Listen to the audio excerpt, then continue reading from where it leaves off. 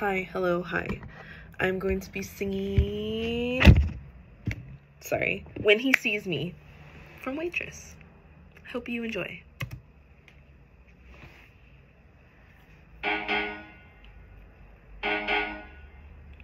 I stick with real things, usually facts and figures. When information's in its place, I minimize the guessing game. Guess what? I don't like guessing games or when I feel things before I know the feelings. How am I supposed to operate if I'm just tossed around by fate? Like on an unexpected date with a stranger whom I talk too fast or ask me questions about myself before I've decided that. He can ask me questions about myself, he might sit too close, or call the waiter by his first name or eat Oreos.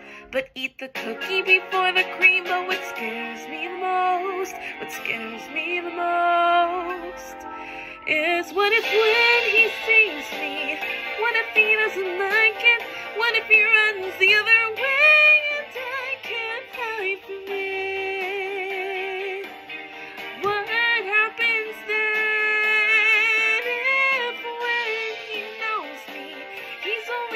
disappointed?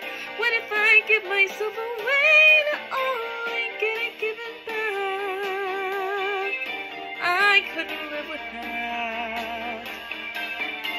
So I'm just fine inside my shell-shaped mind. This way I get the best view.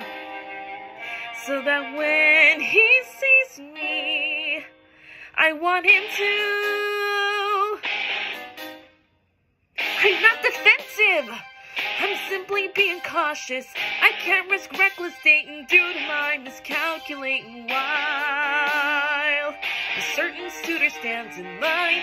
I've seen in movies, most made for television. You cannot be too careful when it comes to sharing your life. I could end up a miserable wife. Sorry, girls, but he could be criminal. Some sort of psychopath who escaped from an institution somewhere where they don't have girls. He could have masterminded some way to find me. He could be colorblind. How untrustworthy is that? He could be less than kind.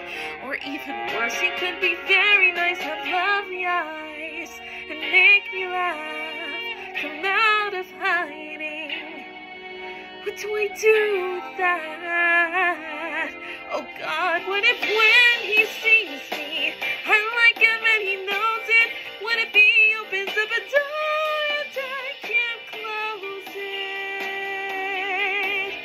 What happens then if when he holds me, my heart is in motion? I'm not prepared for that.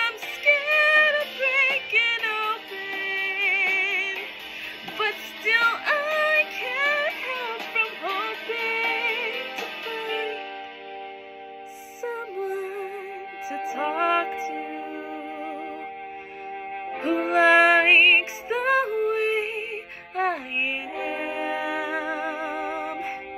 am. Someone who, when he sees me, wants to again.